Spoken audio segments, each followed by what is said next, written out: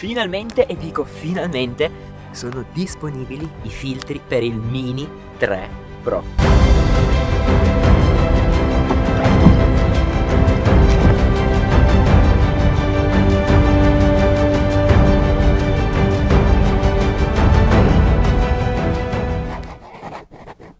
Oggi faremo un bel ripasso su come utilizzarli al meglio su qualsiasi tipo di drone. Ma prima vorrei riconfermare tutto ciò che ho detto nella recensione, in particolar modo in questi due mesi di intenso, intensissimo utilizzo, non so se ci sia stato un giorno in cui lui non abbia volato, forse sto esagerando. Nonostante ciò l'ho utilizzato oltre a 3700 metri di quota e si è sempre comportato bene, in ogni occasione sono sempre riuscito a portare a casa delle ottime riprese. In questi mesi mi sono annotato i suoi punti di forza che mi fanno portare lui nello zaino invece di altri droni. Il primo fra tutti è il rapporto che sta tra il peso, la portabilità di questo drone e la qualità video offerta. Questo sensore da quasi un pollice che riesce a filmare fino a 10 bit è qualcosa di impressionante se pensiamo che lui pesa solamente 249 grammi.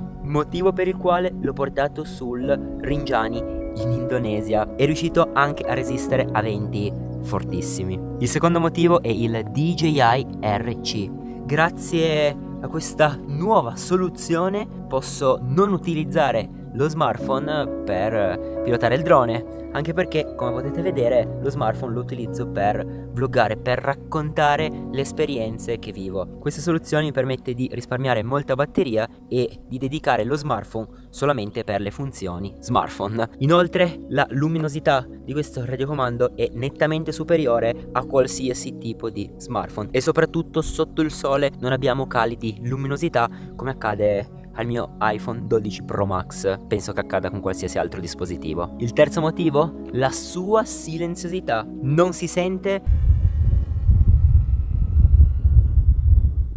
e a mio avviso è fondamentale in quanto non vogliamo disturbare gli altri mentre si vola e si è anche più tranquilli, diciamolo. Il quarto ed ultimo motivo è il fatto che si possa ruotare la camera di 90 gradi e registrare in verticale in 9 sedicesimi. Nell'ultimo periodo non vi nascondo che questa funzione la sto utilizzando sovente per creare dei reel ad hoc per Instagram. Se non mi seguite ancora, beh, chiocciola, morolla, Alessandro, ne approfitto per ricordarvelo, in modo tale che possiate sempre rimanere aggiornati con spoiler e quant'altro e interagire con sondaggi. Ma che cosa sono i filtri ND e a cosa servono? Spiegato in modo molto molto semplice, funzionano come gli occhiali da sole, ovvero servono a ridurre la quantità di luce che entra nel sensore del drone. Perché limitare la luce che entra nel sensore? Come ben saprete dovremmo rispettare la regola dei 180 gradi. In che cosa consiste? Dovremmo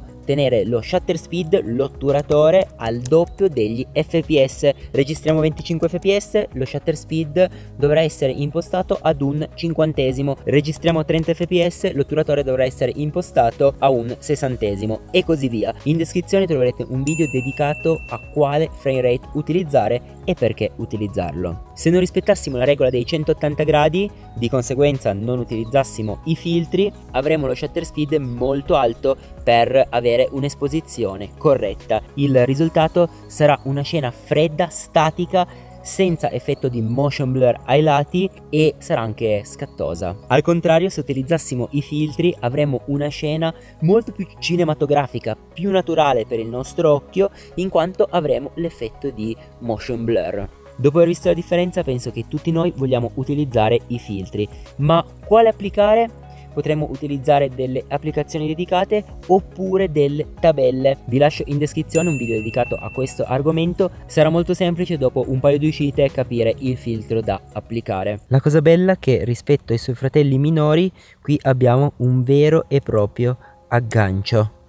Avremo la possibilità di scegliere due kit, il kit DJI, un kit base, avremo a nostra disposizione l'ND16, l'ND64 e il 256. Oppure potremo scegliere un kit più completo come quello di casa Freewell che va dall'ND4 all'ND64 e abbiamo anche un ND 1000 per le foto a lunga esposizione. Il Mini 3 Pro, ma anche il DJI R2S o l'Air 2 non sono dotati di diaframma variabile, come ad esempio il Mavic 3. Consiglio di lasciare lo shutter speed invariato in base agli fps a cui registriamo. Quello che possiamo variare sono gli ISO. Di conseguenza io metterei un filtro leggermente più scuro del dovuto, la maggior parte delle volte l'ND64 è perfetto e poi potremo andare a giocare sull'ISO per avere la giusta esposizione. Io terrei da ISO 100 400 a ISO 400 anche se scegliessimo ISO 400 non avremo alcun tipo di rumore nella scena. Vorrei complicare un po' le cose con i filtri NDPL. Cosa sono e a cosa servono? Funzionano sempre come gli ND